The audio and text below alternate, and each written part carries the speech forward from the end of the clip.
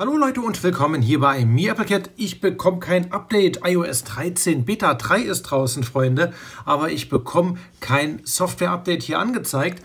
Und ich habe mich echt schon gewundert und wahrscheinlich hier auch, dass er nichts von mir hört. Ja, äh, die Erklärung ist äh, so merkwürdig wie einfach. Äh, das iPhone 7, auf dem ich ja hier die Betas teste von iOS 13, genauso wie die iPhone 7 Plus, die haben das Update nicht bekommen. Die haben kein Update bekommen auf die Beta 3. Warum auch immer. Ob das noch nachgereicht wird oder was da genau dahinter steckt. Ich habe keine Ahnung. Auf jeden Fall bin ich immer noch hier auf der Beta 2 und kann euch somit ja keine Neuigkeiten berichten. Verdammte Kacke aber auch, ne? Tja, aber das wollte ich nur mal kurz sagen. Deswegen gibt es von mir hier nichts zur Beta 3 von iOS 13, obwohl sie draußen ist. Aber viele von euch haben gefragt, wie sieht es denn aus hier mit iOS 12.4? Da gibt es doch schon die Beta, ähm, ja, die Beta 5 mittlerweile.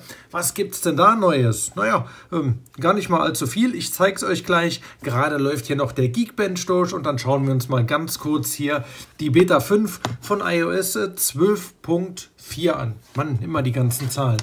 Aber das hier mit dem äh, iPhone 7, keine Ahnung. Keine Ahnung, was Apple sich da gedacht hat. Ich dachte schon, bei mir stimmt irgendwas nicht. Hab's schon den ganzen Tag versucht, bis ich jetzt irgendwo mal gelesen habe. Nö, kein Update hier fürs iPhone 7. Also, blöd.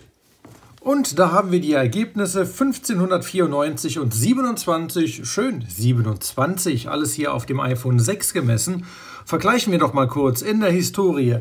Was sagen uns die Zahlen? Sie sagen uns, ja, dass wir zwei Punkte weniger im Single-Core und äh, tja, tatsächlich auch weniger Punkte im Multicore-Score haben als hier bei der Beta. Lass mich kurz überlegen. Ich glaube, das war noch die Beta 3 hier am 20. Mai. Also performancemäßig hat sich da nichts verbessert. Ansonsten gibt es da auch keine neuen Funktionen mehr, da passiert nichts mehr, da werden einfach nur noch kleinste äh, Fehlerchen und Anpassungen vorgenommen und Fehlerchen ausgebügelt. Ansonsten, Freunde, gibt es da einfach nichts zu berichten, aber wir schauen noch mal kurz, wie viel Speicher habe ich denn hier frei? Das sind 25,34, merken wir uns kurz, 25,34 und vor dem Update hatte ich frei 26,4. Also da ist einiges an ja, Daten zusätzlich aufs iPhone draufgespielt worden, obwohl die Beta 5 nur 203,7 Megabyte groß war. Tja, und wie viele Betas hier noch kommen mit 12.4?